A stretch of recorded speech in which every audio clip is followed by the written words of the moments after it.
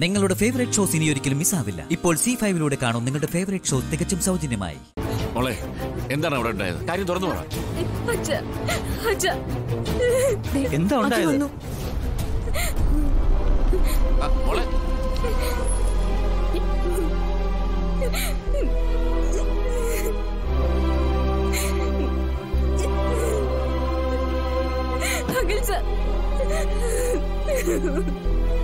എന്താ? എന്താ ശ്യാമേ? എന്താ പ്രശ്നം? എന്താ? ശ്യാമ എന്തിനാ കരയുന്നേ? ശ്യാമേ കരയാതെ കാര്യം എന്തെന്ന് പറയേ. കാര്യം പറയുമ്പോൾ അതെ എനിക്ക് എന്റെ മകനോട് ഇക്കാര്യം ഒന്നും പറയാൻ പറ്റില്ല. മറ്റാരെങ്കിലും അത് പറഞ്ഞോട് ഞാൻ പറയാം.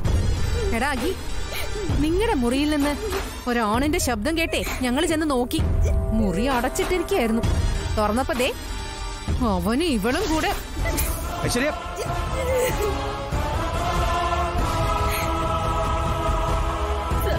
ശ്യാമേ നേരാണോ ഞാൻ ഈ കേട്ടത്? പച്ച കള്ളാണ് സർ. ഇതിലെന്തോ ചതിയുണ്ട്. എന്റെ അനുവാദം പോലില്ലാതെ ഇയാൾ എന്റെ മുറിയിലേക്ക് വന്ന് കയറുമായിരുന്നു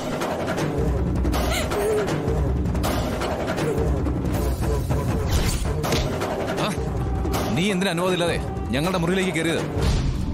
ശ്യാമ പറയുന്ന കള്ളമാണ് സർ. ശ്യാമ വിളിച്ചിട്ട് തന്നെയാ ഞാൻ ശ്യാമയുടെ മുറിയിൽ വന്ന് കയറിയത്. ഞാനും ശ്യാമയും തമ്മിൽ പ്രേമത്തിലായിരുന്നു.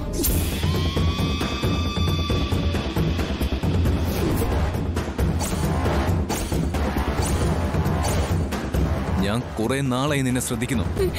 നീ ഒരു വഞ്ചകയാണെന്ന് എനിക്ക് നേരത്തെ തന്നെ മനസ്സിലായി. സാർ വിശ്വസിക്കരുത്. ഇത് ചതിയാ. മിണ്ടരുത് നീ. അഖി ഇതൊക്കെ വിശ്വസിക്കാൻ വരട്ടെ. അച്ഛ അച്ഛൻ ഈ കാര്യത്തിൽ ഇടപെടരുത്. അച്ഛന് ശ്യാമയോട് വാത്സല്യം ഉണ്ടെന്ന് എനിക്കറിയാം. പക്ഷേ ഇത് എന്റെ ജീവിതം. നീ ഇത്ര ഭയങ്കരയാണെന്ന് ഞാൻ അറിഞ്ഞിരുന്നില്ല.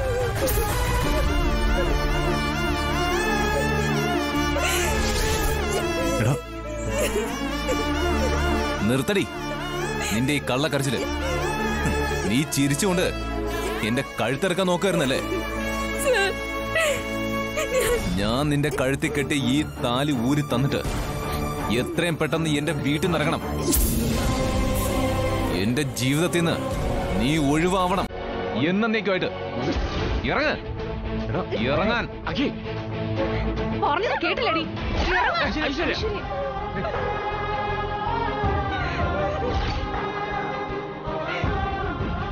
ശ്യാമേ നിക്ക്.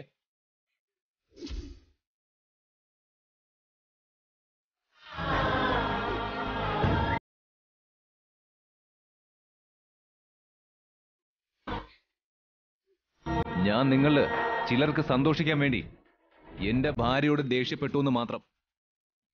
നിങ്ങൾ സന്തോഷിച്ച് കഴിഞ്ഞെങ്കിൽ വഴക്കിട്ടതൊക്കെ പിൻവലിച്ച് ഞാൻ ദേ ഇവളെ ഒന്ന് സ്നേഹിച്ചോട്ടെ?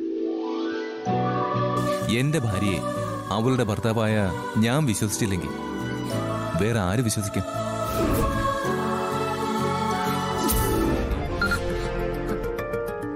ഐശ്വര്യയുടെ വിളി വരാൻ ഞാൻ കാത്തിരിക്കുകയായിരുന്നു. ആ സന്തോഷ വാർത്ത കേട്ട് എനിക്കൊന്ന് ഉറക്ക പൊട്ടിച്ചിരിക്കണം. എന്നിട്ട് വിസ്മയമായി ഒരു ചുറ്റിക്കറക്കം. വേണ്ടി വന്നാൽ മൂന്നാർ തേക്കടി വഴി ഒരു ടൂർ അല്ല എന്തായി? ഞാനൊന്ന് ആനന്ദിക്കട്ടെ. അവളെ അവനെയും കൂടി മുറിയിലിട്ട് പിടി കൂടിയ ഉടനെ അവരെ രണ്ടുപേരെയും കൂടി അടിച്ചിറക്കിയോ? അതോ അവളെ മാത്രം അടിച്ചിറക്കിയോ? എന്നിട്ട് അവൾ എങ്ങോട്ട് പോയി?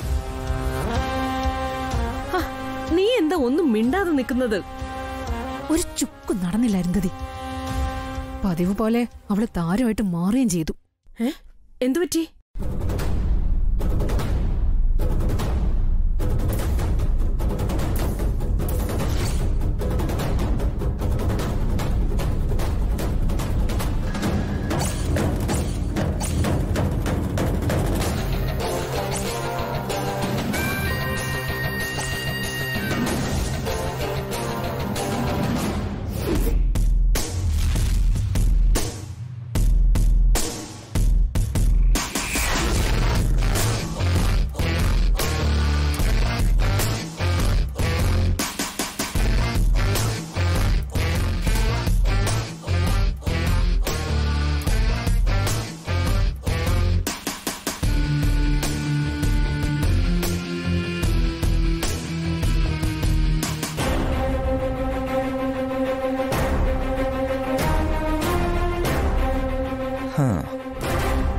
എന്താ ഏടത്തി ഒരു ടെൻഷൻ പോലെ.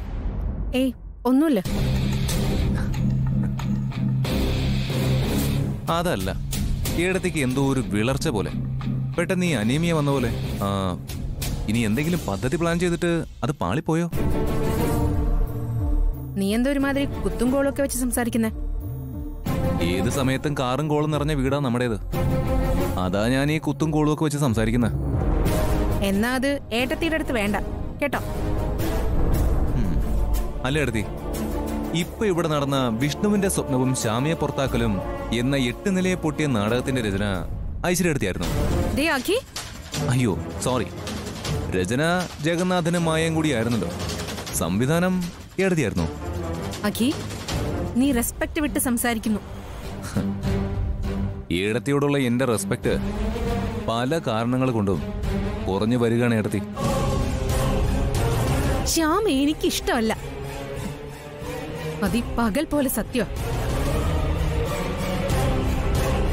ഐശ്വര്യ ഇഷ്ടപ്പെടാനല്ലോ ഞാൻ അവളെ കല്യാണം കഴിച്ചത് നിന്നോട് നിന്റെ അമ്മയ്ക്കുള്ളത് പോലുള്ള ഇഷ്ടം എനിക്കുണ്ട്. നീ നശിക്കുന്നത് കാണാൻ ഞങ്ങൾക്ക് പ്രയാസോ? അല്ലാതെ ശ്യാമയോടുള്ള ഈഗോ കൊണ്ടല്ല ഈ പക. ഈഗോയോ? അവളോടോ? എനിക്കോ? അവളാര്? ഞാനാര്? അത് ശരിയാ. അവളും ഏടത്തിയും തമ്മിൽ നിഴലും നിലാവും പോലുള്ള വ്യത്യാസമുണ്ട്. നീ സമ്മതിച്ചല്ലോ. ഞാൻ നിലാവാണെന്ന്. കുറ്റാക്കുറ്റി ഇരുട്ടാ നിങ്ങൾ. ഡൗൺലോഡ് ചെയ്യൂ സി ഫൈവ് ആപ്പ് കാണൂ എല്ലാ എപ്പിസോഡുകളും സൗജന്യമായി.